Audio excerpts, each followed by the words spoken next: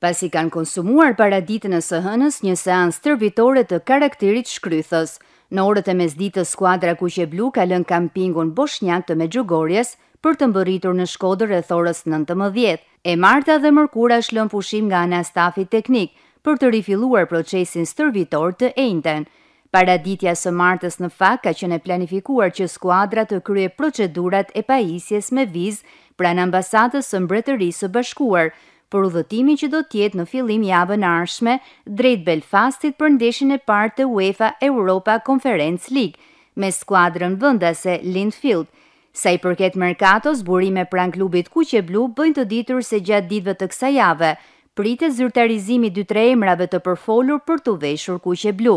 Mes tyre ai që lakohet më shumë është shkodrani Ardit Krymi, i cili pasi ka mbyllur gjithçka me klubin bjellorus, ku u shpall kampion sezonin e kaluar, ka vendosur të kthehet në kampionatin shqiptar, ku siç e ka shprehur edhe vetë ai, destinacioni kryesor është skuadra e zemrës Vllaznia.